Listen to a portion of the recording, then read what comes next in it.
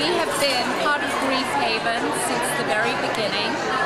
It is the most necessary thing because parents who lose children don't have anywhere to go and they desperately need somewhere to go. It's like somebody who is sick. The grief has to be gone through like an illness. Haven is remarkable because it truly is a journey that you live with your entire life. What Haven does is provides, through people like us, examples that there is hope, that there's a happy life afterwards, and you really can survive and thrive. And yes, you always have your child with you in your heart, but that doesn't mean you can't go on and live and flourish. And Grief Haven provides people the opportunity to not feel isolated and not feel alone because this is a lonely journey, but here you have family and community.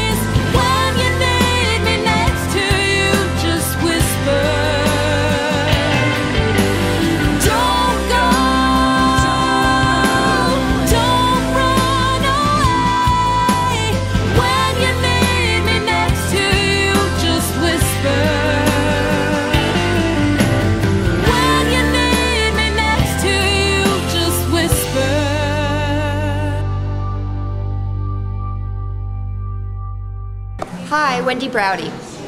Hi, Melanie Spicer. Hi, Susan Whitmore. Beth Abrams. Hi, I'm Pam Solomon. Jessica Deschelle. Nicole Foos. Christina Porter. Robin Aronson. Linda Rosen. And we're the Friends of Grief Haven. Uh, I want to say that today was beautiful. Um, I was apprehensive at first to come today because I had a loss in my life this year um, and felt that it would be too difficult to, to think about. But I realized that by being here and sharing this with everybody today, that I can be there for those who need my hand. So Susan and everybody, thank you so much for putting this together and allowing us to share in this, this wonderful work you're doing. And um, I look forward to future events and helping and being involved with the organization. Thank you.